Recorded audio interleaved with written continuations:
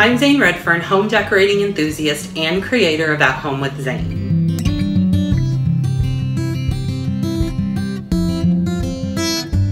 I recently posted a video where I showed you how you could make a chicken wire frame uh, DIY and after posting that video I've had an overwhelming response to people asking how I made the bow for my wreath. So today I'm going to share with you a tutorial on how I created my bow. For the sake of the video, I'm using another frame that I have. This is actually a barnwood frame. It's really large. Um, and I'm probably going to create another uh, chicken wire frame out of this because I also have this faux boxwood wreath that I purchased at Marshall's a while back. And so I'm going to use that to demonstrate how I created my bow. Um, I haven't included any chicken wire on this frame, but I'm going to go through the steps of how I created the bow and this frame is very similar.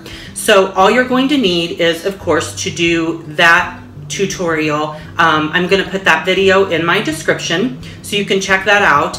But also to do the bow, you just need your frame, a wreath of your choice, and then some wired ribbon. And I'm using this blue and white ribbon. I got this actually at Walmart. And some people ask where I got the chicken wire. I actually purchased that at Walmart as well. It's called poultry netting. And um, it was in like the lawn and garden section. So you can just go there to pick that up also.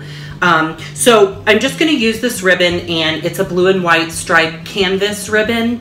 And um, you definitely want to make sure that your ribbon is wired to get this look and uh, you can purchase this actually at Walmart as well. To get started, what you want to do is find where on your wreath is about the center part. So I've positioned this here on the table since there is no netting behind it um, to hold it up. I've positioned the wreath on the table about center way down uh, on my picture frame. Next, you want to take your ribbon and cut off a very generous uh, length of ribbon because we're going to run the ribbon through our picture frame and then through our wreath and we're going to create the first part of our bow.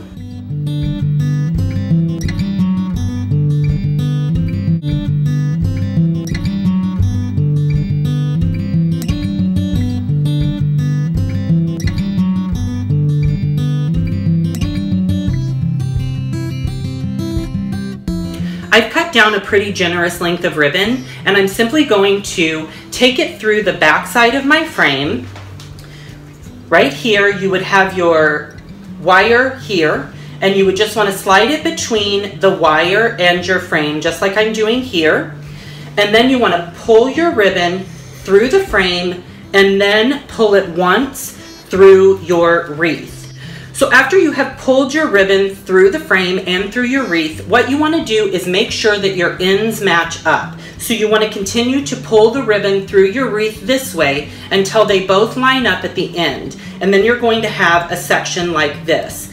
What you want to do next is determine how long you need your ribbon to be to position your wreath in the center. So what you do is you hold up your frame, and this looks like it's about right. I'm gonna pull it up just a tad here.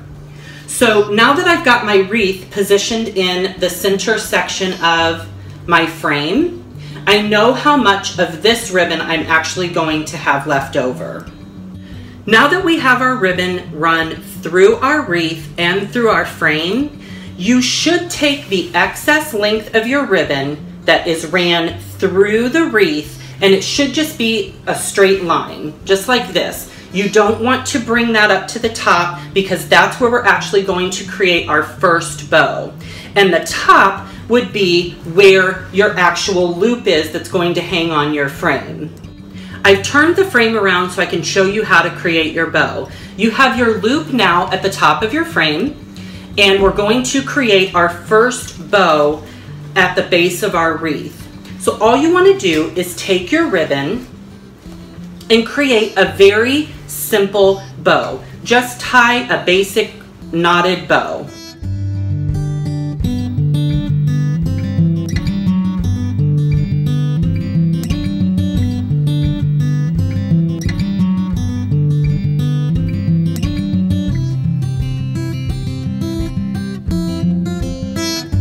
With this, I always suggest after you've tied once, you want to tie a second time to create a knot.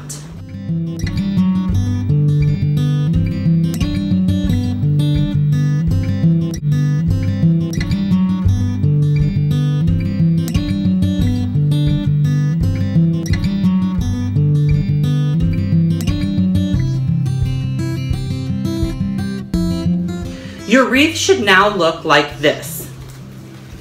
You should have a knot at the top and your loop across the frame.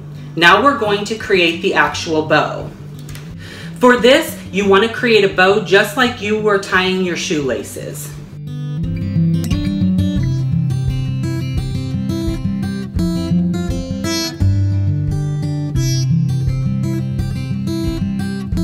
Once you've tied your first bow, which this is upside down, but this is how it should look. You just want to take it and fluff it out. You want to fluff out the bow since it is wired. It's going to give you the ability to fluff it out, make it full, and also pull it to make it whatever size you would like. Then what you want to do is leave your tails just as they are, leave them hanging, because now we're going to cut out another length of ribbon to do our crisscross section of our bow. So I'm going to cut out some ribbon to do the crisscross section of our bow and everything is all just eyeballed. It's really based on your preference, how big you want the bow to be, how long you want the tails to be. So I'm just going to give this a little bit of a judgment and see how long I want it to be.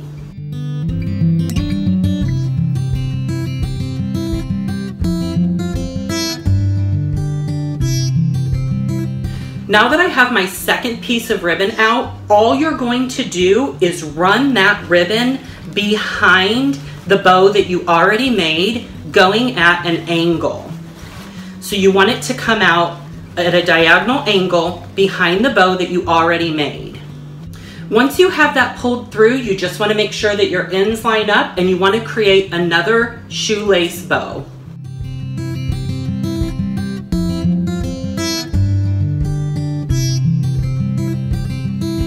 Once you have your additional crisscross bow in place, then you can just fluff up your bow, make sure that everything looks nice and full, and then you want to judge how long you want your tails that are still remaining. So I've snipped off my tails, I've created a dovetail um, at the ends, and now it's completed and this is how you create your big full bow for your farmhouse wreath.